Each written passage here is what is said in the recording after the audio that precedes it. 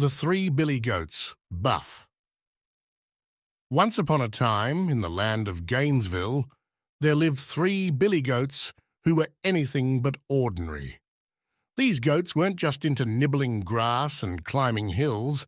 No, these guys lived for the pump, the grind, and the glory of the gym. They were Big Buff Bruno, Ripped Ricky, and their little sister, the deceptively strong and full of surprises, Tiny Tina. The goats had one goal in mind to win the prestigious goat competition.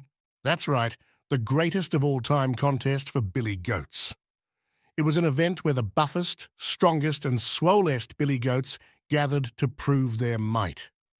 But there was one small, okay, big problem.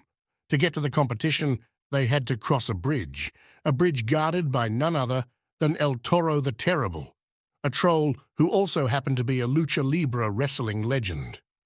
And this troll didn't let anyone cross without a proper wrestling showdown.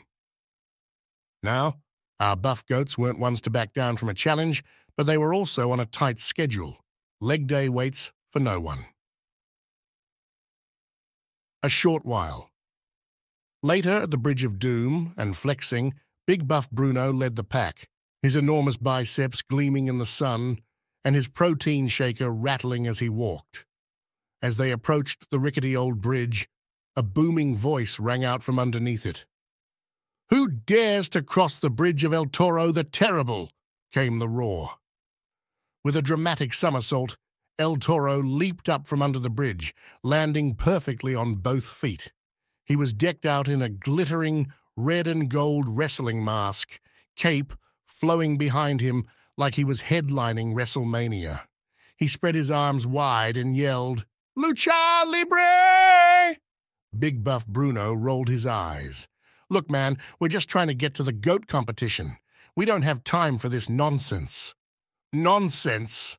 El Toro gasped, as though Bruno had just insulted his mother's cooking.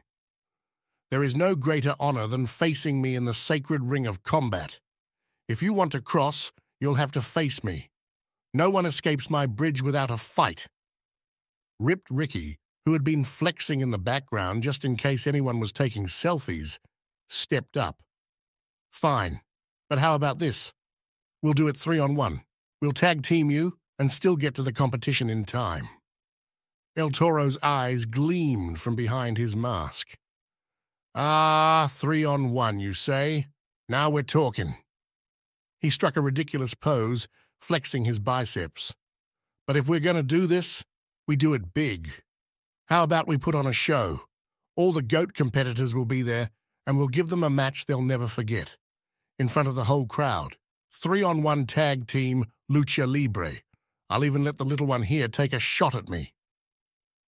Tiny Tina, who had been silently deadlifting a rock the size of a small car, narrowed her eyes. You're going to regret that, troll. And so, with a shrug and a flex, the goats agreed. They'd cross the He Bridge and face El Toro in the biggest wrestling match of their lives. A short while later, at the Goat Competition Arena, the sun was setting, casting a golden glow over the arena. Goats from all over Gainesville had gathered to see who was the buffest. But little did they know they were about to witness the most ridiculous match of the century. El Toro entered first, somersaulting into the ring, his cape fluttering behind him like he was preparing to face the rock. Laddies and gentle goats, he shouted, his voice echoing across the mountains. Prepare yourselves for a battle of epic proportions. Today, I face not one, not two, but three Billy Goats buff. The crowd roared with excitement. Some of the goats in the front row even held up glittering signs that read, Hash Team Toro, and Swole Goals. And in this corner, the announcer's voice boomed, from the land of Gainesville, with muscles of steel and calves that could crush coconuts, give it up for Big Buff Bruno, Ripped Ricky, and Tiny Tina, the three Billy Goats buff. The goats strutted into the ring, flexing and posing like bodybuilders at a competition. Bruno ripped off his tank top, Ricky showed off his 12 pack abs, and Tina cracked her knuckles, ready for action. The bell rang. Ding! The match was on. Big Buff Bruno, always the boldest, charged into the ring first. He grabbed El Toro in a lock, muscles bulging like they were about to rip through his skin. But El Toro was slippery, flipping Bruno over his head and landing with a dramatic pose. Ole! he shouted, cape twirling as he showed off his wrestling flair. Next up, Ripped Ricky stormed in, his muscles gleaming like freshly polished armor.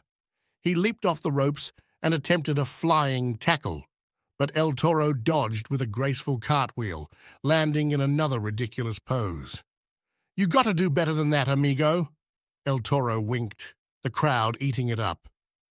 Ricky groaned, tagging in Tiny Tina. All right, sis, your turn. Tiny Tina cracked her neck, flexed her surprisingly large arms, and marched into the ring, locking eyes with El Toro. He gave her a smug smile. Ready to give up, little one? But Tina wasn't about to be outdone. With a move that shocked the entire crowd, she grabbed El Toro and lifted him clean off his feet with a gorilla press slam.